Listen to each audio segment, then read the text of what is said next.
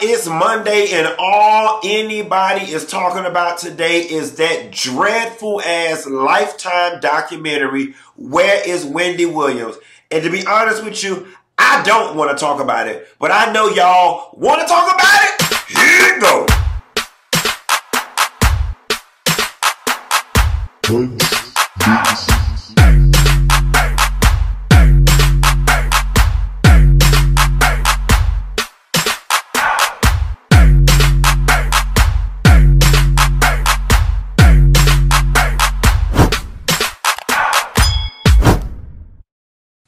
Girl, did y'all get into that Wendy Williams documentary that they got going on Lifetime? I'm gonna be the first person to tell you I have not watched it. I have seen the various clips that have been floating around on social media, and I have seen enough. I've had a couple conversations with some friends, and I have seen enough. To be honest with you, I just have no interest in sitting there and watching Wendy Williams deteriorate in front of our eyes. There is nothing entertaining about that. And quite frankly, they could have did an article and a write-up in People magazine describing her condition, and that would have been enough for me. I'm not pleased with it at all. I'm not pleased with it at all.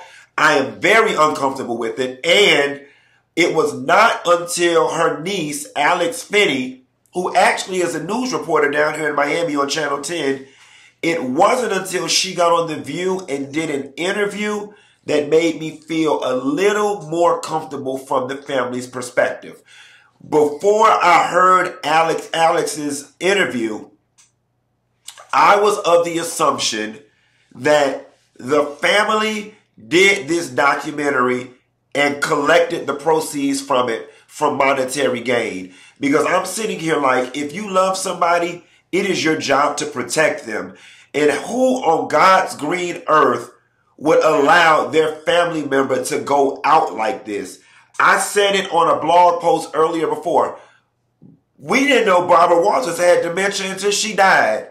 We did not see a single image or media clip of Barbara Walters with as even much as a hair out of place.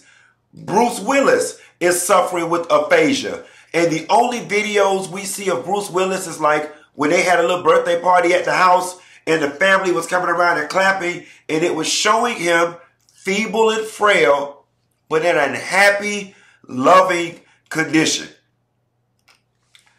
Y'all got Wendy Williams on this TV looking a damn fool. And I, everybody is saying, Wendy had a three deal, lifetime deal, so what?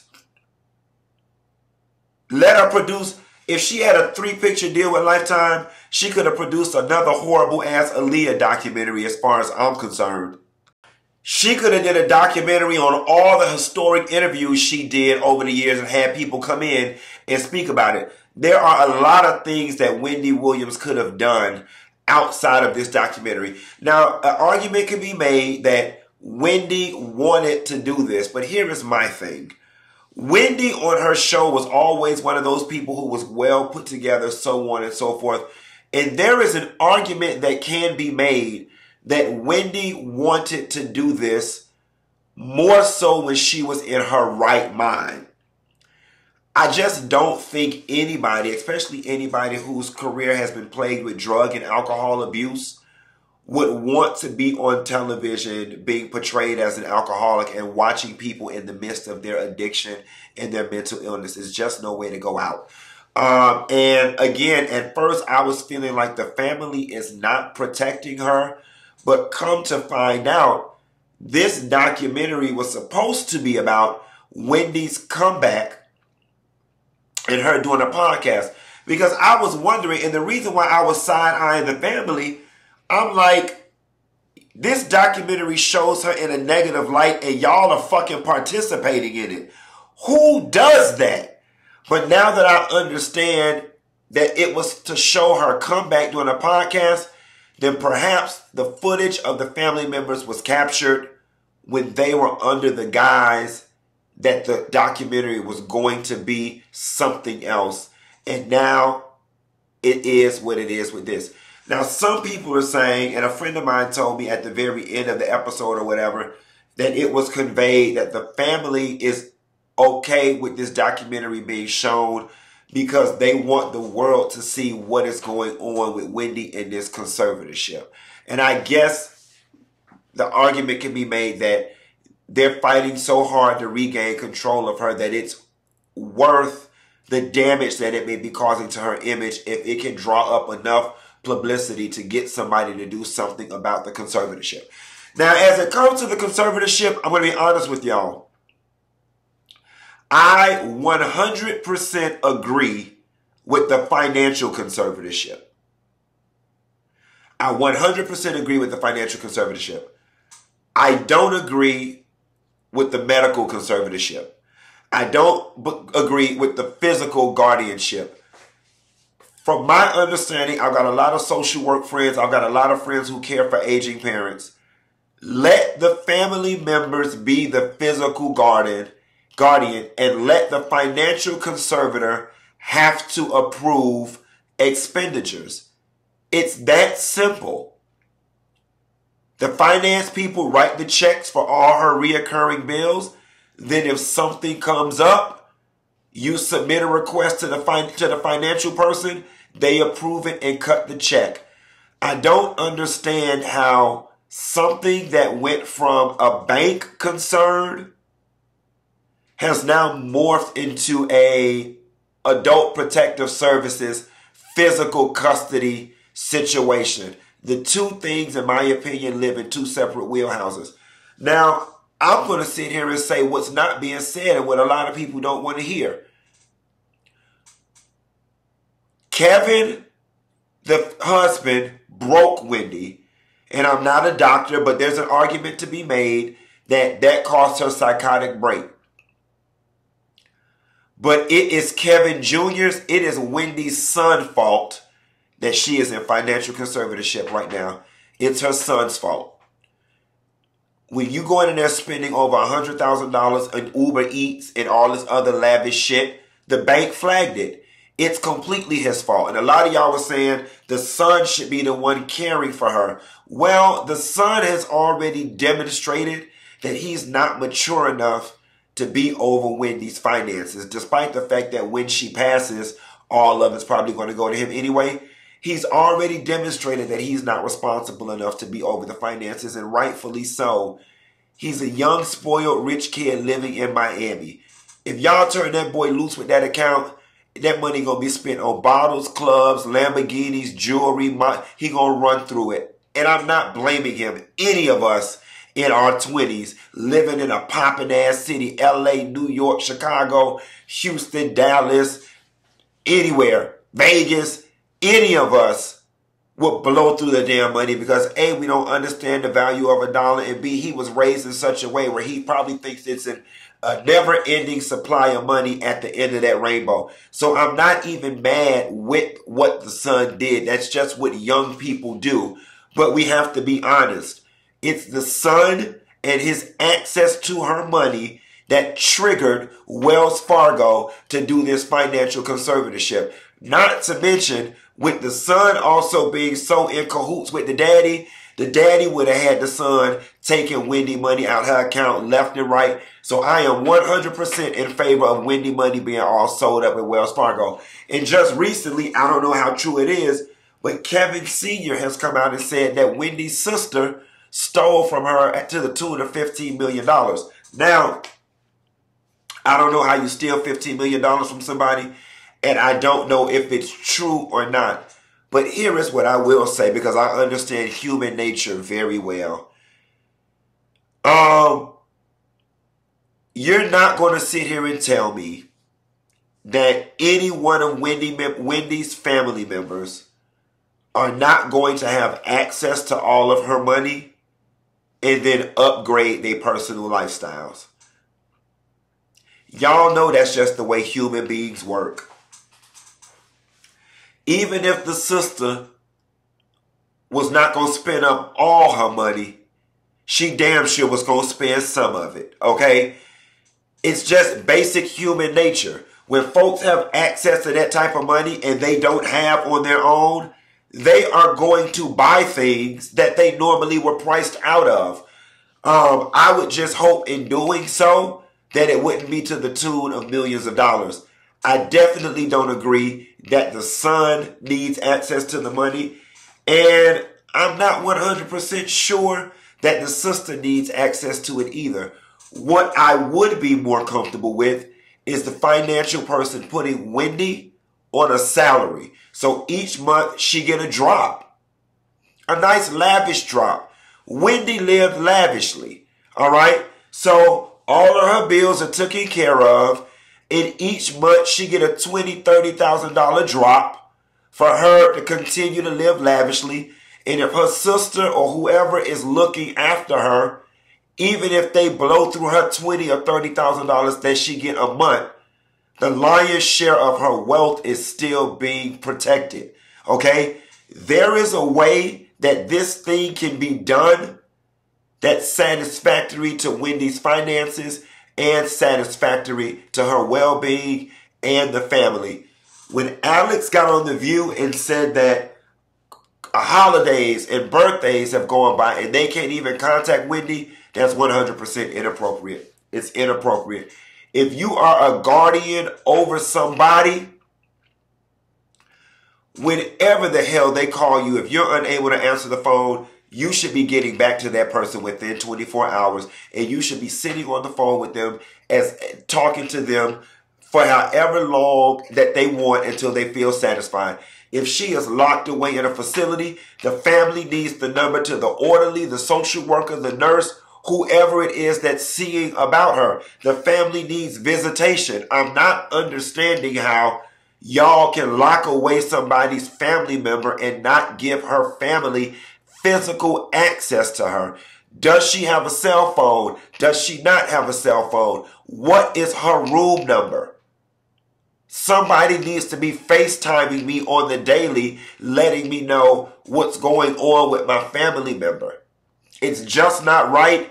And I do hope that the family is able to somehow uh, petition to get some of that withdrawn. Now, my question is because we're hearing from everybody except the conservator.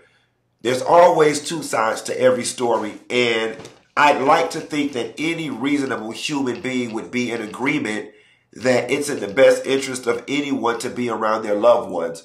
So the fact that this conservator, the court, the legal system has made it possible for Wendy's family to not have contact with her or to have minimal contact with her I'm curious to know what the reasons were that this was approved. The second thing, that publicist that Alex was like, you know, basically go away from me, don't talk to me, you need to leave. Is it me or that or did that publicist feel too much like an intern to be the publicist of an A-list celebrity like Wendy Williams?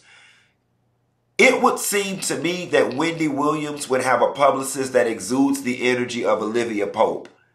That girl who was around Wendy Williams seemed like a fucking intern or a first year junior publicist. Red flag number one. Um, the way that Wendy was talking to that nail tech and talking to that assistant was 100% atrocious. All right.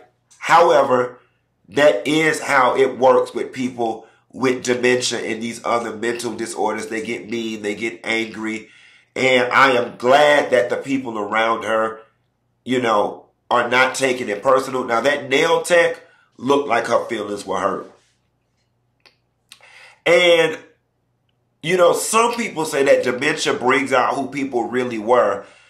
Do y'all think that Wendy spoke to people and spoke to the higher help like that when she was in her good state of mind. I don't, you, you know, it's just like when people get dementia, they forget everything except that damn racism, them old elderly white people. I'm curious to know if Wendy conducted herself like that when she was in her right mind. And that's why it was just so easy for her to revert to being mean. But I don't know. Um, but I just pray that anybody who continues to work with Wendy, that they have a good understanding of the doggone disease um, in order to better accommodate her and not take it personal. Um, last but not least, the guardian of Wendy Williams has filed a lawsuit against A&E. Um, Now, I don't know if the lawsuit is to block the documentary and they're doing the lawsuit in order to protect Wendy or not. Um, but all in all, y'all, this is not a good look. And, and, and I know, you know, Alex, her niece, who I trust and feel comfortable with, says that her aunt wanted to tell her own story and to control the narrative. And I understand that wholeheartedly. But there's just a part of me that says, yeah, she wanted to control it, kind of how Britney Spears wanted to control hers. She wanted y'all to see what was going on and how people were treating her. But I don't think that Wendy wanted people to see her in the midst of her illness and down bad like this and looking like an alcoholic and looking like a crazy person. And there's no dignity in that. There is no honor in that. And another thing, the scene where whatchamacallit had the bottle of alcohol and she was hollering about leave her alcohol there and she had drank that whole bottle of alcohol. She don't drive. She don't have access to the money. Who is going out and buying her alcohol? Who is going out and buying her alcohol? And don't get me wrong, everybody need a little piece of cigarette. Everybody need a little piece of reefer. Everybody needs to drink now and then. And I'm going to be honest with you. You know what? If Wendy is on her way out of life, and if she's at the tail end of, or in her golden years, I'm not going to sit here and say that she need to quit cold turkey. Ain't nothing wrong with having a cocktail here too. And if you are going to buy her alcohol in order to quench whatever thirst for a drink she have, you don't go buy no full bottle. Go get her a little pint. Go get her little miniatures. I get it. Sometimes when you're dealing with people who have addiction and stuff, you know, you know they shouldn't have stuff, but you still want to see them happy. Go get a little small bottle. Who goes and gives an alcoholic and an addict and a person that's probably on all types of medication and lymphedema and all this stuff a big old bottle of alcohol and just leaves it with them? That's reckless and that's irresponsible. And it makes me wonder, you know,